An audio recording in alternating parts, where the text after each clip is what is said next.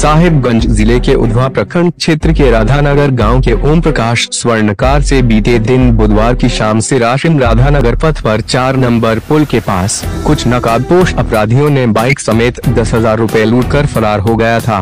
घटना के समय वे बरहरावा थाना क्षेत्र के मिर्जापुर गाँव स्थित अपनी ज्वेलरी दुकान को रोज की तरह शाम को बंद कर यामाहा बाइक से वापस अपने घर लौट रहा था।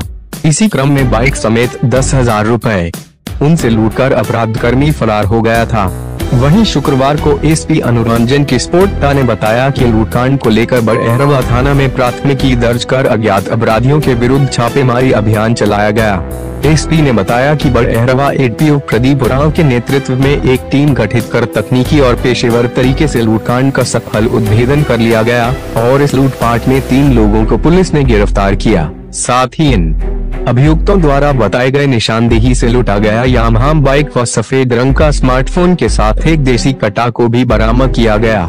एसपी ने बताया 48 घंटे के भीतर लूटकांड में शामिल राजमहल थाना क्षेत्र के निवासी महादेव मंडल, पिता हरनारायण मंडल समेत अन्य दो अभियुक्त पंकज स्वर्णकार, पिता दिलीप स्वर्णकार व किशोर हजारी, पिता लालचंद हजारी, दोनों अभियुक्तों राधानगर थाना क्षेत्र के निवासी को गिरफ़्तार करने में सफलता मिली है। एसपी ने बताया कि गिरफ़्तार अभियुक्तों का पूर्व में आपराधिक इतिहास रहा है, जिसमें महादेव मंडल के ऊपर नौ मामला दर्ज है, वहीं पंकज स्वर्णकार और किशोर हजारी के ऊपर एक एक मामला दर्ज है। सभी गिरफ़्तार अभियुक्त को न्यायिक हिरासत में जेल भेज दिया गया। बीते दिनांक एक दिसंबर को सिरासिन राधानगर रोड में संध्या के समय एक स्वर्ण व्यापारी से उसके मोटरसाइकिल लूटने की घटना घटित हुई थी, जिसके संदर्भ में बड़ौरा थाना कांड संख्या दो सौ दर्ज की गई तथा अनुसंधान प्रारंभ किया गया।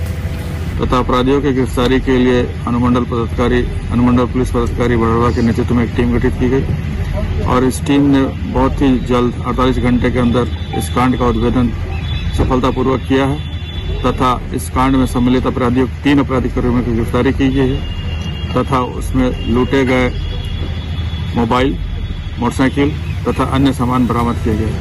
साथ ही इनकी गिरफ्तारी के दौरान एक अवैध हथियार भी मिला है जिसकी भी बरामदगी की है। यह टीम बधाई के पात्र है। इसमें गिरफ़्तार किए गए लोग का नाम महादेव मंडल पंकज सोनकर और किशोर हजारी है। इन सभी का पूर्व आपराधिक इतिहास रहा है और ये पूर्व में भी इस तरह की घटनाओं में सम्मिलित रहे हैं। धन्यवाद। दस हज़ार रुपये नगद भी लूटे गए थे। सर वो बरामद नहीं अभी नहीं हुआ हम लोग उसका प्रयास कर रहे हैं।